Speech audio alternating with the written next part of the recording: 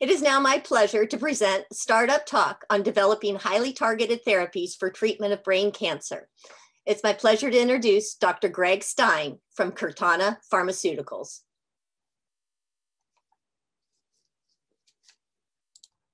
Hey, Carrie, thanks so much. Uh, okay, I need to share my screen. And let me do that and share. And there we go. Can you uh, see my screen there? Yes, we can. Are we good? Yep. Very good. So uh, my name is Greg Stein. I'm the um, founder and president uh, and CEO of Curtana Pharmaceuticals, uh, where we are focused on developing targeted therapeutics for the treatment of a variety of different types of brain cancer. Now, the company started back in 2013, and it was really serendipity. I had another venture-backed company that uh, I had founded and, and was uh, helping to run, and had come across some literature suggesting that the work we were doing at that com company might have value in brain cancer. I went up to uh, the university to talk to the head of neuro, neuro-oncology, who at the time was, was Dr. Kesari. And um, during the course of the conversation, he said, I've been working on some, something for the last 10 years, started at Dana-Farber and now uh, here at UCSD with my colleagues. And I think it could really change the way brain cancer is treated. But I, you know, I don't know a lot about companies and drug development. Would you just take a look at it and let me know what you think? Well, long story short, I love the idea and I really like Dr. Kesari and, and his approach. Um, and so we started a company uh, started another company, and we're at the point now where we have a, a lead program for treating newly di diagnosed GBM. Over the last several years, we've received funding from CureScience. Uh, we received a very large grant from the state of Texas through their CPRIT program. And because of that, we moved the company to Austin, Texas back uh, in 2014. And we're still based here in Austin, Texas. We've received uh, recently we got a, received a grant from the National Brain Tumor Society to look at the immunomodulatory effects of, of our lead drug. And we also have a research collaboration going with one of the top 10 big pharma companies to look at the combination of our drug with their drug. So we've made a lot of progress since the company was founded uh, and based uh, all from that initial uh, serendipitous meeting with Dr. Kesari several years ago. Um, I think Dr. Kesari probably covered this, and, and this group knows well um, how challenging a disease glioblastoma is. And in kids, uh, there are uh, two other types of brain cancer, pediatric high-grade gliomas and medulloblastoma, uh, which also have, uh, in many cases, uh, an, an equally dismal prognosis. So our lead program is focused on hitting a target called OLIG2. And OLIG2 is a transcription factor that's associated with cancer stem cells, and it's found in all gliomas. And over the last several years, we've been successful with our work, and we've developed a drug we're calling CT179, which is a potent orally available OLIG2 inhibitor. And I'll briefly go through the efficacy data showing survival benefit in multiple preclinical animal models. We've shown that the drug is, is quite safe. We don't see any significant toxicities at the dosage levels that we think we're going to be uh, delivering. We've got a good handle now on the, the mechanism of action, that, that is how the drug actually works. We've completed our GLP toxicology studies, uh, which are required for submission of uh, an IND application. We've completed our GMP manufacturing. We have FDA orphan drug designation for the treatment of gliomas, and we have FDA rare pediatric disease designation for the treatment of medulloblastoma.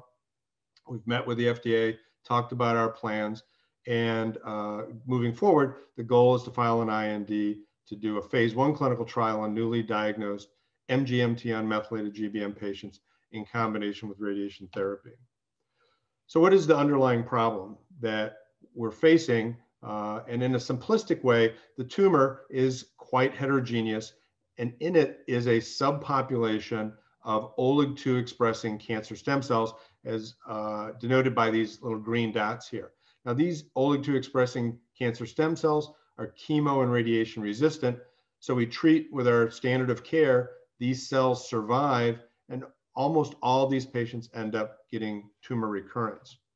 Now what's interesting about OLIG2 and why we would think about targeting it in gliomas is that um, it's involved in normal brain development embryologically, early first few years of life, but then once your brain's fully developed, its expression is by and large not, uh, not present.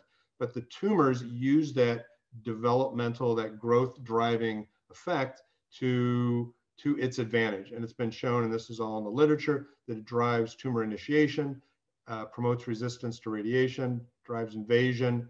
These cancer stem cells are actually immunosuppressive, and it's highly expressed in all the gliomas. So it really gives us, gives us an opportunity to go after a target that's just in the cancer and not in normal tissue. And so what we're going to do, uh, the plan is to combine CT179 with standard of care to not only debulk the tumor, but eliminate these cancer, the uh, cancer stem cells that are OLIG2 expressing, and thereby delaying or ideally preventing tumor recurrence. The drug we have has great drug-like properties. It uh, can be taken by mouth. It has uh, a long half-life, which means we can dose it once a day. So it becomes a once a day pill. Um, it crosses the blood-brain barrier, which is absolutely critical. 98% of cancer drugs don't cross the blood-brain barrier. And so this was one of our key requirements when we were developing the drug, and we were successful in that. We get good drug tissue levels. It's well tolerated, as I said. It's not hard to make, it's inexpensive to make, and we don't have any formulation issues. So we have, from at least from a pharmacologic perspective, a great looking drug candidate. I'll quickly go through some of the data that we have. Um, in our first experiments, we looked at just uh, our drug alone in uh, what's called an orthotopic model. That's where we uh, inject the, the drug directly into, or I'm sorry, the cancer cells right into the mouse brain. And we see in a couple different models here that even alone, that we're going to see a survival benefit. And remember, the cancer stem cells are just a small percentage of the cells in the overall tumor. So we were quite encouraged to see this initial result um, in as a monotherapy. Uh, we then put it into a flank model looking at combination with temozolomide and radiation. And the green line is our drug, temozolomide radiation, and the red line is a combo. And as we can see here in two different models, the combination worked quite well as we had projected. So we then went into uh, orthotopic models where we in, put the cancer cells in the, in the animal's brain. And here we see compared to radiation alone, which is the green line, when combined with radiation, we see a significant benefit. And compared to temozolomide and radiation, we see a, a significant trend toward benefit there as well. And then here's a couple more models where the blue line is the combination, and this is the group that is, that does the best.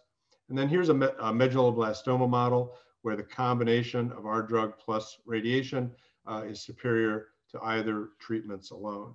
So across multiple models, we've been able to show that the drug is effective. It is safe at therapeutic doses. Like other cancer drugs, it uh, is successful at uh, directly killing the cancer cells, but it also makes the radiation more effective.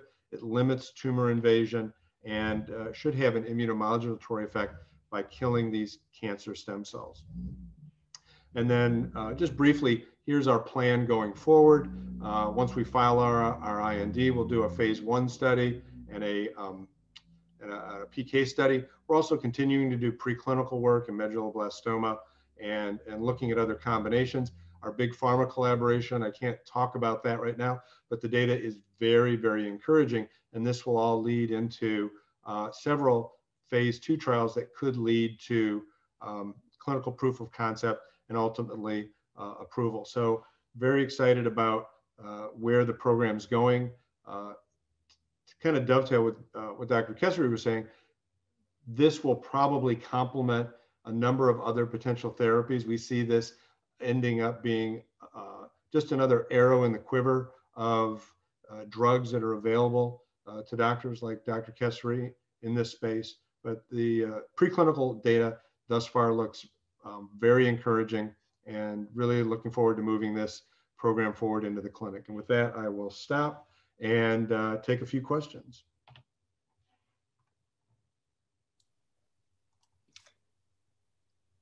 Fabulous. Thank you so much. Uh, we so appreciate a question here. Uh, how do we arrive at the candidate?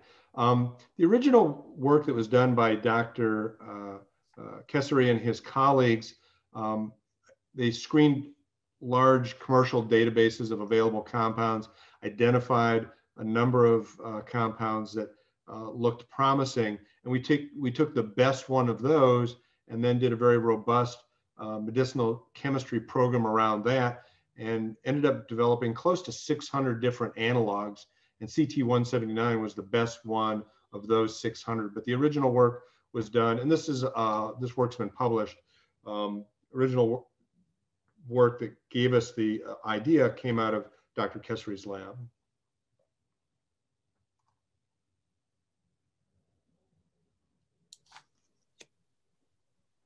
Are there, uh, if there's no other questions, uh, I'll just say thank you very much and turn the, Carrie, turn the, this back over to you.